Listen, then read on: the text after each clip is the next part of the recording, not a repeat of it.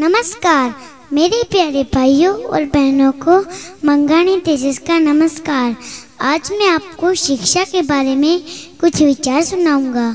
हम सब लोग जानते हैं कि हमारे जीवन में शिक्षा का महत्व शुरू से ही रहा है।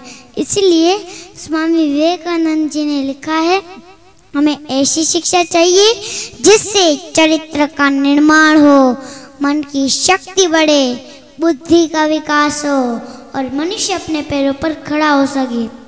दोस्तों, शिक्षा के बगैर मनुष्य एक पशु समान है।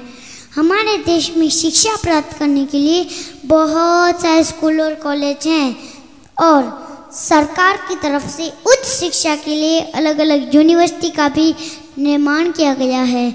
लेकिन आजकल चंद लोगों ने शिक्षा को व्यापार बना रखा है और आम आदमी शिक्षा से वंचित हो रहा है।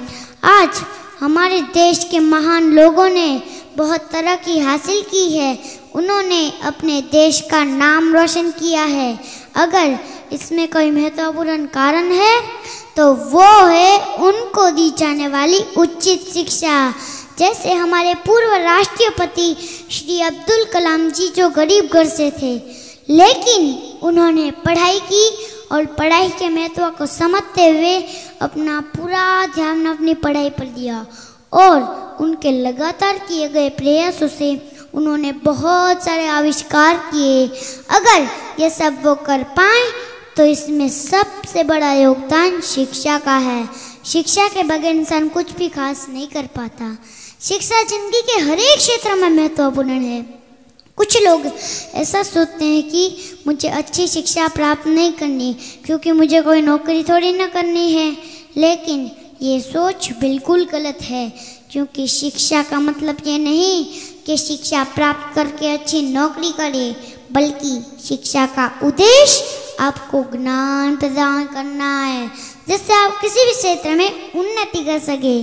इसलिए दोस्तों, जब तक शिक्षा का मतलब नौकरी पाना होगा। तब तक समाज में नौकरी पैदा होंगे। मालिक नहीं!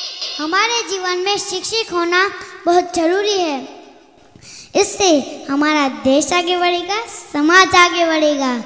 इसलिए दोस्तों, पढ़ेगा इंडिया, तभी बढ़ेगा इंडिया। धन्यवाद! नमस्कार। मेरे प्यारे भाइयों और बहनों को मंगानी तेजस का नमस्कार। आज मैं आपको शिक्षा